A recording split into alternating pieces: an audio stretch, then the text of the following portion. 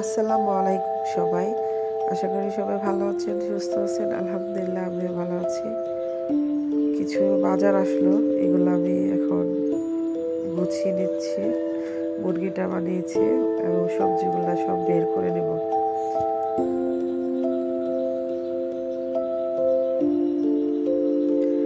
এখানে কলিজার ফ্যাপসা আমার অনেক পছন্দ। কলিজার ফ্যাপসা আনা হয়েছে। গরুর মাংস, মুরগি, মাছ। তো মাছের মধ্যে একটা সামুদ্রিক মাছ, যেটা মাছ যদি আমার পছন্দ না, আমি এটা খাই না। বাসার অন্য কেউ খাবে। মেয়ের পছন্দ ঢেঁড়স, এই জন্য ঢেঁড়স আনা হয়েছে। লেবু।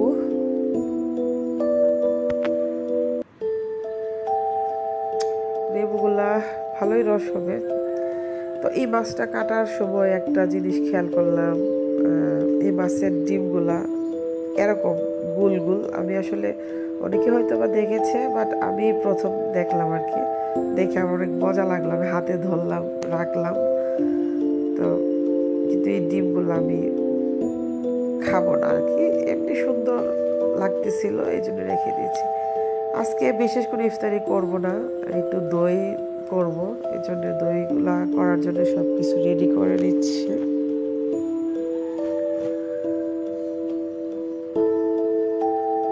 আমার দই মোটামুটি ভালোই হয়। আমার মাঝে মাঝে যদি মনে হয় যে কাউকে খাওয়াবো, তখন দইটা আসলে বসে না। উল্টা হয়। তারপর দইটা রেডি করে রেখে দিলাম।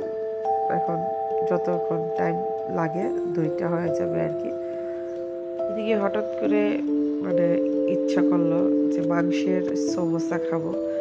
যদিও চালের গুঁড়া দিয়ে মাংসের সমোসাটা অনেক ভালো লাগে, কিন্তু আজকে আমি আটা দিয়ে করব। এই জন্য আমি সবগুলো রেডি করে নিয়েছি। মাংসটা মানে মুরগির মাংস দিয়ে করতেছি, গরুর মাংস হলে ভালো হয়।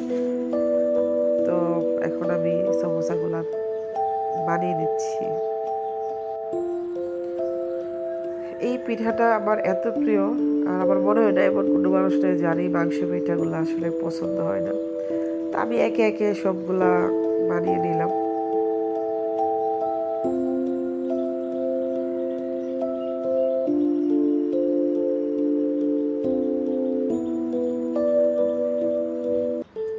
এখন সমোসাগুলা ভেজে নিব।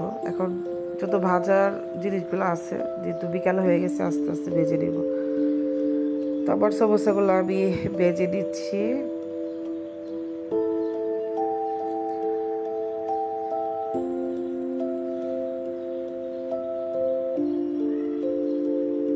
অনেক সুন্দর একটা গ্রান মানে বের হচ্ছে।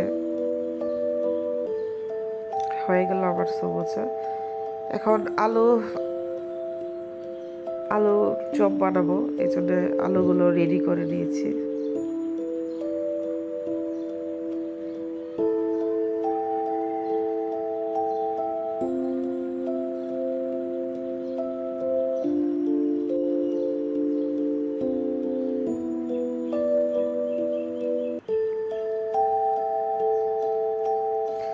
এভাবে আলু চপটা আসলে আমার অনেক পছন্দ।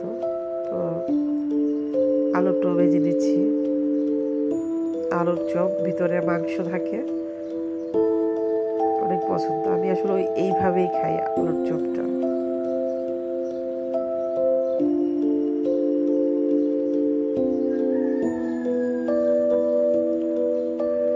এবং এখন বড়াগুলা ভেজে নিব। বড়াগুলা ভাজার পরে আমি শরবত করব দুই রকম।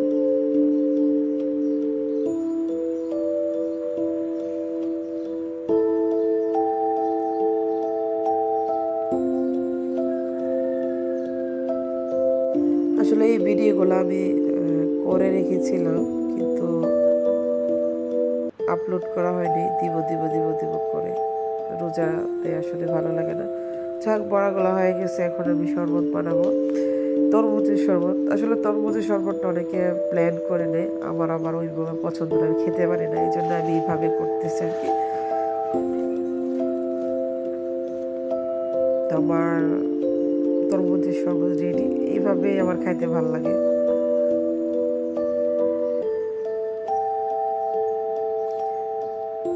এই ফলটা সম্ভবত বাঙ্গি না কি যে বলে, যাই হোক এটা আনা হয়েছে, এটা আসলে শরবত বানালে কেমন লাগে আমি জানি না তবু ট্রাই করতেছি।